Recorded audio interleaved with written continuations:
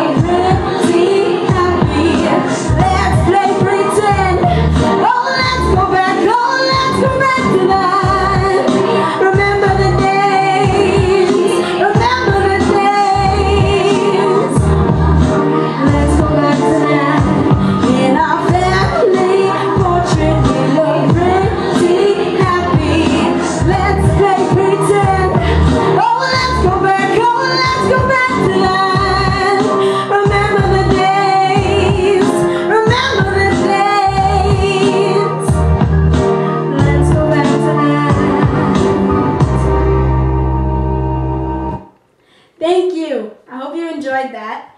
Um, by the way, if you're wondering what all this is, it's my wall of quotes. It pretty much gets me through the day. They're inspirational quotes that mostly come from Eminem. So I'll read you one. Um,